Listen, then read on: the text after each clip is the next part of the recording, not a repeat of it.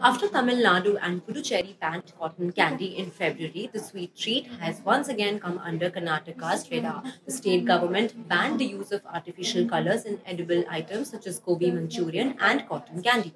Amidst rising concerns over the harmful effects of rhodamine B, the Food Safety Department of Karnataka collected 171 samples from eateries across the state, out of which 107 samples were found to contain the cancer-causing chemical rhodamine B, along with other harmful harmful chemicals used as coloring agents.